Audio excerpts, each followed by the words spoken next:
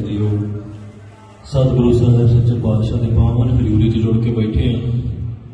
ਗੁਰੂ ਵੱਲੋਂ ਬਖਸ਼ੀ ਫਤਿਹ ਦੀ ਸਾਂਝ ਪਾਓ। ਕੱਜ ਰੱਖੋ ਵਾਹਿਗੁਰੂ ਜੀ ਕਾ ਖਾਲਸਾ, ਵਾਹਿਗੁਰੂ ਜੀ ਕੀ ਫਤਿਹ। ਅੱਜ ਇਸ ਪਵਿੱਤਰ ਸਥਾਨ ਤੇ ਸੰਤ ਗਿਆਨੀ ਜਰਨੈਲ ਸਿੰਘ ਖਾਲਸਾ ਪਿੰਡ ਨਾਲੇ ਦਾ ਜਨਮ ਸਥਾਨ ਹੈ। ਜਿਸ ਸਥਾਨ ਤੋਂ ਮੇਰੀ ਦਸਤਾਰਬੰਦੀ ਹੋਈ ਤੇ ਆਪਾਂ ਕੌਮ ਦਾ ਇਹ ਕਾਰਜ ਰੰਭਿਆ, ਅੱਜ ਉਸੇ ਸਥਾਨ ਤੇ ਇਸ ਕੌਮੀ ਕਾਰਜ ਨੂੰ ਚੱਲਦਿਆਂ ਇੱਕ ਜੀਵਨ ਦੇ ਬੜੇ ਅਹਿਮ ਮੋੜ ਤੇ ਆਪਾਂ ਆਣ ਕੇ ਖੜੇ ਹਾਂ ਪਿਛਲੇ 1 ਮਹੀਨੇ ਤੋਂ ਜੋ ਕੁਝ ਵਾਪਰਿਆ ਉਹ ਤੁਸੀਂ ਸਾਰਾ ਕੁਝ ਵੇਖਿਆ ਮੈਂ ਤਾਂ ਹੋਣਾ ਨਹੀਂ।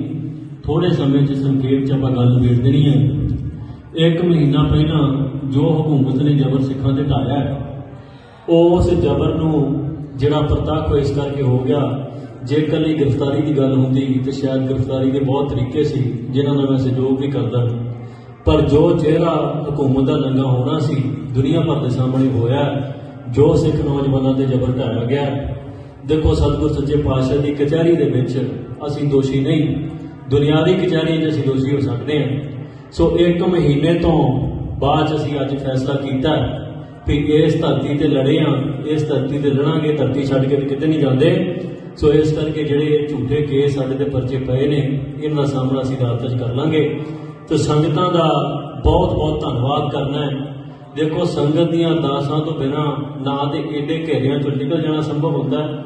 ਸੰਗਤ ਦੀਆਂ ਅਰਦਾਸਾਂ ਤੋਂ ਬਿਨਾ ਨਾ ਤੇ ਇੰਨਾ ਲੰਮਾ ਸਮਾਂ ਜਿਹੜਾ ਰੂਪੋਸ਼ ਹੋ ਜਾਣਾ ਸੰਭਵ ਹੁੰਦਾ ਹੈ। ਇਹ ਸੰਗਤ ਦੀਆਂ ਅਰਦਾਸਾਂ ਦੇ ਗੁਰੂ ਸਾਹਿਬ ਦੀ ਕਿਰਪਾ ਸਦਕਾ ਸਾਰਾ ਕੁਝ ਵਾਪਰਿਆ ਅੱਜ ਉਸੇ ਸਥਾਨ ਦੇ ਉੱਤੇ ਅਸੀਂ ਆਪ ਗ੍ਰਿਫਤਾਰੀ ਦੇਣ ਦਾ ਫੈਸਲਾ ਕੀਤਾ ਇਹ ਗ੍ਰਿਫਤਾਰੀ ਜਿਹੜੀ ਹੈ, ਇਹ ਅੰਤ ਨਹੀਂ, ਇਹ ਸ਼ੁਰੂਆਤ ਹੈ। ਸਤਿਗੁਰ ਸੱਚੇ ਪਾਤਸ਼ਾਹ ਕਿਰਪਾ ਕਰਨ ਇਹ ਜਿਹੜਾ ਝੂਠ ਦਾ ਪਲੰਦਾ ਸਾਡੇ ਖਿਲਾਫ ਸਿਰਜਿਆ ਗਿਆ ਹੈ, ਇਹਨੂੰ ਭੰਦਾ ਸੰਸਾਰ ਜਿਹੜਾ ਸਤਿਗੁਰ ਸੱਚੇ ਪਾਤਸ਼ਾਹ ਕਿਰਪਾ ਕਰਕੇ ਇਹਨੂੰ ਭੰਨਣਗੇ ਤੇ ਛੇਤੀ ਹੀ ਸੰਗਤਾਂ ਦੇ ਜਿਹੜੇ ਅਸੀਂ ਰੂਬਰੂ ਜਿਹੜਾ ਸਨਮੁਖ ਹੋ ਕੇ ਸੰਗਤਾਂ 'ਚ ਵਿਚਰਾਂਗੇ, ਜਿਹੜੀ ਅੰਮ੍ਰਿਤ ਸੰਚਾਰ ਦੀ ਮੁਹਿੰਮ, ਜਿਹੜੀ ਖਾਲਸਾ ਵਹੀਰ ਅਸੀਂ ਸ਼ੁਰੂ ਕੀਤੀ ਸਤਿਗੁਰ ਨੇ ਸਾਡੇ ਕੋਲ ਆਪ ਕਰਾਈ ਹੈ ਉਸ ਖਾਲਸਾ ਵਹੀਰ ਨੂੰ ਮੋੜ ਆਰੰਭਾਂਗੇ ਪਰ ਨੌਜਵਾਨਾਂ ਨੂੰ ਇੱਕ ਮੇਰੀ ਅਪੀਲ ਹੈ ਵੀ ਜੇ ਇਸ ਖੱਡੇ ਪਾਟੇ ਦੀ ਜਿਹੜੀ ਪੌਲ ਛਕ ਰਹੇ ਸੀ ਅਸੀਂ, ਜਿਹੜੇ ਨਸ਼ਿਆਂ ਤੋਂ ਦੂਰ ਹੋ ਰਹੇ ਸੀ, ਉਸ ਤੋਂ ਤੰਗ ਆ ਕੇ ਹਕੂਮਤ ਨੇ ਸਾਰਾ ਕੁਝ ਕੀਤਾ ਤੇ ਹਕੂਮਤ ਤਾਂ ਜਿੱਤ ਸਕਦੀ ਹੈ ਜੇ ਅਸੀਂ ਖੰਡੇ ਬਾਟੇ ਦੀ ਪੌਲ ਤੋਂ ਭਗੌੜੇ ਹੋ ਜੀ ਪਰ ਜੇ ਅੱਜ ਅਸੀਂ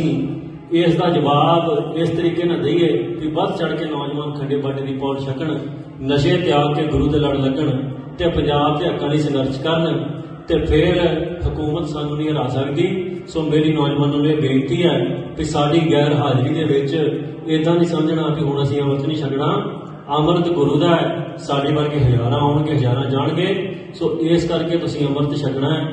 ਖੰਡੇ ਬਾੜੇ ਦੀ ਪਹੁੰਚ ਛੱਕ ਕੇ ਅਮਰਧਾਰੀ ਹੋਣਾ, ਸ਼ਸਤਰਧਾਰੀ ਹੋ ਕੇ ਜੀਵਨ ਬਤੀਤ ਕਰਨਾ ਸੋ ਇੰਨੀਆਂ ਕੁ ਬੇਨਤੀਆਂ ਦੇ ਨਾਲ ਮੈਂ ਸ਼ੁਕਰਾਨਾ, ਸਾਰੀ ਸੰਗਤ ਦਾ ਕਰਦਾ ਸਾਰੀ ਸੰਗਤ ਨੇ ਜਿੰਨਾ ਪ੍ਰੇਮ ਬਖਸ਼ਿਆ ਹੈ ਦੇਸ਼ਾਂ ਵਿਦੇਸ਼ਾਂ ਦੇ ਵਿੱਚ, ਉਹਨਾਂ ਦਾ ਬਹੁਤ ਬਹੁਤ ਧੰਨਵਾਦ ਹੈ। ਸਤਿਗੁਰ ਕਿਰਪਾ ਕਰਨ ਤੁਸੀਂ ਅਰਦਾਸ ਬੇਨਤੀ ਜਾਰੀ ਰੱਖਣੀ ਹੈ, ਕਿਉਂਕਿ ਤੁਹਾਡੀ